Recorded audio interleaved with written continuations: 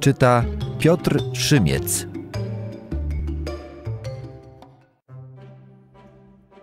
Jestem dumny z tego, że jako członek Polskiego Komitetu Narodowego nie należałem do żadnego stronnictwa. Tym śmielej i szczerzej dziś powiedzieć mogę, że dziś nie pora na stanowe i dziedziczne przywileje. Wszyscyśmy dziećmi jednej matki i o ile każdy z nas swój święty spełni obowiązek, mamy równe prawa do jej sprawiedliwej opieki.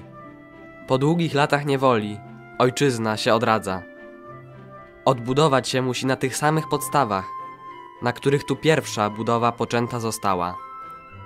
Żadne, najmędrzej zorganizowane stronnictwo ojczyzny odbudować nie zdoła. Do tego dzieła trzeba jedności i zgody wszystkich, miłości i siły, wiary i zaparcia się samego siebie. Do tego dzieła potrzeba wszystkich sił i wszystkich serc zespołu. Odbuduje Polskę przede wszystkim chłop polski i robotnik polski z niego powstały i my wszyscy. O ile pójdziemy z ludem.